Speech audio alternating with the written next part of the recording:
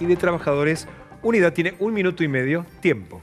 Bueno, eh, lamentablemente la realidad es que la actual ley de comunas no se cumple y es por voluntad del macrismo, básicamente porque no le conviene que a los vecinos, los vecinos eh, opinen y decidan sobre los temas más importantes de nuestros barrios y nuestra ciudad.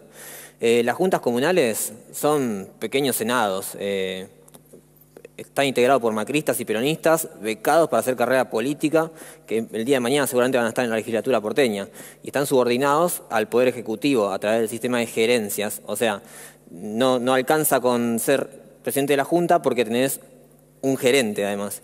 Este, y bueno, también a la escribanía, perdón, la legislatura porteña.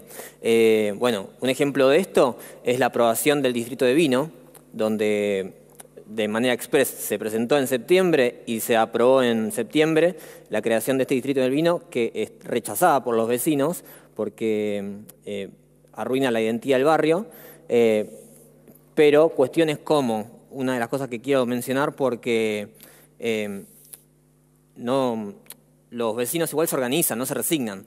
Por ejemplo, los vecinos de Santa Rita que se organizan y luchan por el histórico pedido de la plaza, que ya es ley, pero no, caen en la idea de que de la Junta Comunal salen sus derechos, se consiguen en la lucha y en la organización. Así que reivindicar a esos vecinos. Muchas gracias y ahora le corresponde a Nicolás Mainieri realizarle una pregunta a